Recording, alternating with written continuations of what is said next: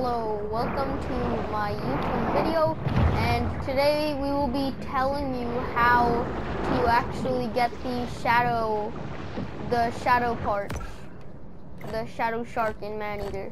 So I've already got the fin and so basically all you have to do it's quite simple but some people follow this one guy on YouTube that said to 100% every location, but he's wrong. All you have to do is get all the landmarks. Because as you can see on the right of the landmark, it says Prosperity Sands landmark. Find all landmarks in Prosperity Sands. Objective, discover all landmarks, 9 out of 10. And the rewards says 150 of all that. And then the shadow tail. You have to complete every single landmark in every single location to fi finish getting every single um, piece of the shadow thing. So this location is the tail. Prosperity Sands is the tail. Sa uh, don't know what Sapphire Bay is.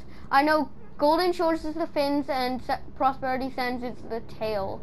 And the others, I have no idea what they are. But, so just remember that. All you have to do is finish all the landmarks. Don't follow that one guy on YouTube or a couple of guys that just say all you have this to do is trimaran, 100% like many-